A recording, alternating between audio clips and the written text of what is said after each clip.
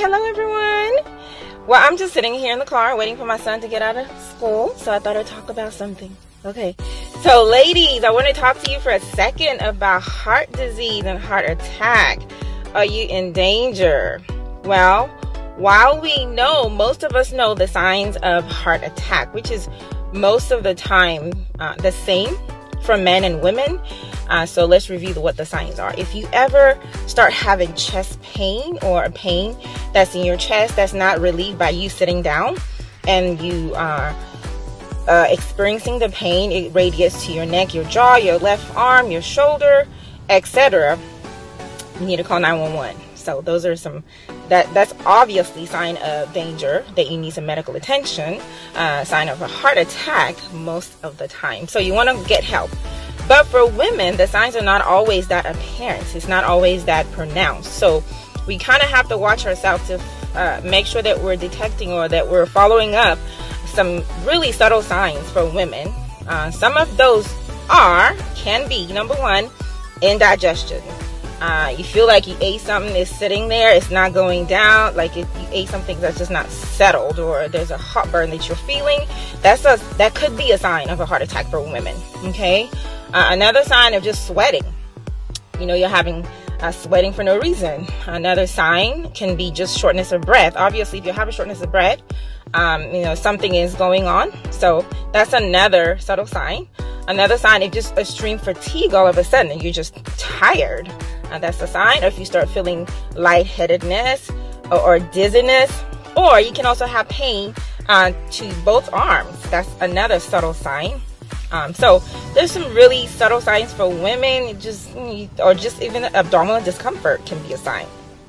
So as women, uh, the signs are a little bit uh, more subtle than for men. But obviously, if you start having pain to, you know, both arms or pain that's radiating to your neck, your jaw, your shoulder, your upper back, you need to call 911. That's a, an obvious sign. So, what do we do then for women? Uh, what we want to recommend, if you didn't know already, heart disease is still the number one killer for women. No, it's not breast cancer, it is heart disease. So we cannot talk about it enough. It is important for women that we continue to sound the alarm, especially when the signs of heart attacks can be really, really subtle. When um, heart disease, uh, those things, we need to just make sure that we're taking care of our heart. And so, what do you do? Well, you want to start with preventative measures. First of all, I encourage every woman. I know that most of us are caregivers. We're doing things. We're busy. It is often very difficult or a challenge to take care of ourselves. We'll be, we're like, okay, we'll take care of it when, when it's time. Trust me, I've been there. We've all been there. But it is cr- critical that we even do that. So it's important that we take the preventative measures. Number one, making sure you're at least going to your annual visit once a year, where you see your doctor for, you know, comprehensive assessment and you're getting lab work that is the thorough lab work uh, to make sure everything is is okay is there's also you know screen you for based on your age and uh, things that, and immunizations make sure that those are up to date. So your once a year annual visit is critical that you make sure that you're doing that at least. And then if you have blood pressure issues that you're taking your medication Ugh, don't skip your blood pressure medication that's not good.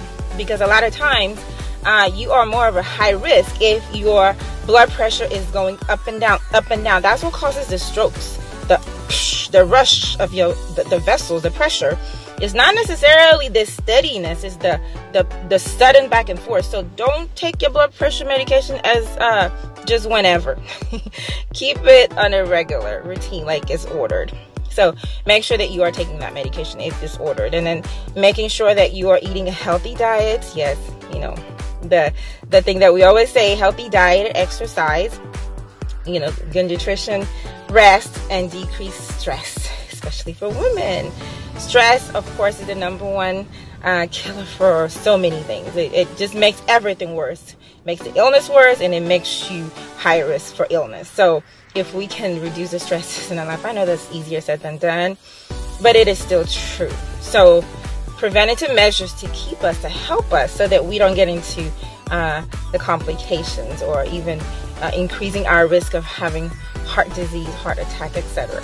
So that is still the number one for women because we're so emotional. And a lot of time, what triggers a lot of this heart issues are emotional issues. uh, that trigger these things. So women, women, because of who we are, we have to kind of watch ourselves a little bit more. So I wanted to just sound that reminder to us since I'm just sitting here waiting for my son to get out of school. so, okay, talk to you guys later. Ladies, have a wonderful day and be sure to take care of your heart. All right, till next time. All right, bye bye. Feel free to comment below.